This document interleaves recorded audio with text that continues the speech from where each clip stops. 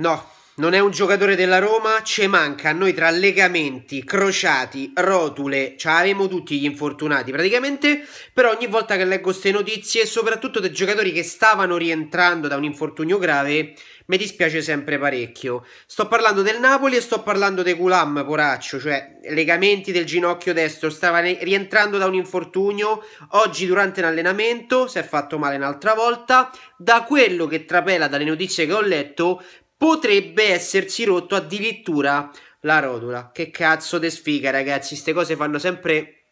Lasciano sempre la mano in bocca perché comunque sono brutte cose da sentire un giocatore che appena sta rientrato all'infortunio ricasca, si rifà male e gli si riscoccia un'altra volta. Poi la stessa gamba, lo stesso ginocchio, quindi insomma ancora più grave che potrebbe allungare i tempi di recupero del giocatore che potrebbe rivedere il campo non so tra quanto. Poi può essere pure che la rotula in realtà non è rotta, però insomma se hanno detto sospetta rottura da rotula, evidentemente qualcosa di abbastanza grave sotto c'è. Vorrei fare una piccola disamina, ma già ci ho fatto il video sul Napoli ragazzi, secondo me è una delle squadre, la seconda squadra più forte d'Italia, solo perché la Juventus è campione d'Italia in carica, ma sulla carta, sull'11 titolare, Napoli e Juventus se la giocano tranquillamente alla pari. Il Napoli sul mercato avrebbe dovuto fare qualcosa di importante perché poi lo vedi già Mertens non si sa se domani sarà della partita.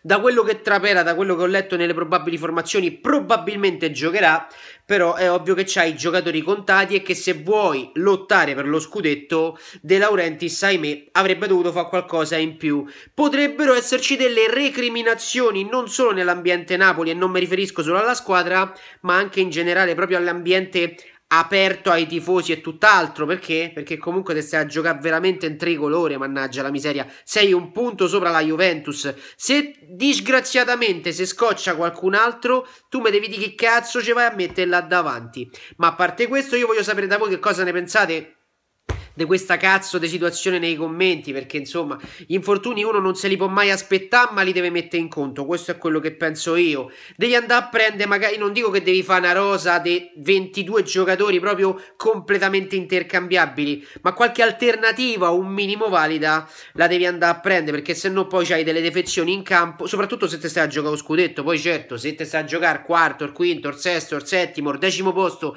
o la metà classifica pazienza quel che sarà sarà però insomma dispiace perché non lo so quello che succederà, ma lo voglio sapere da voi nei commenti, che cosa ne pensate, mi piace, commentate, condividete, iscrivetevi al canale, ma soprattutto ragazzi facciamo un in bocca al lupo a Gulam che si è fatto male, spero che non sia nulla di gra- grave, sì, so cinese mo, e che rientri il prima possibile in campo. Detto questo ragazzi miei, alla prossima con un nuovo video.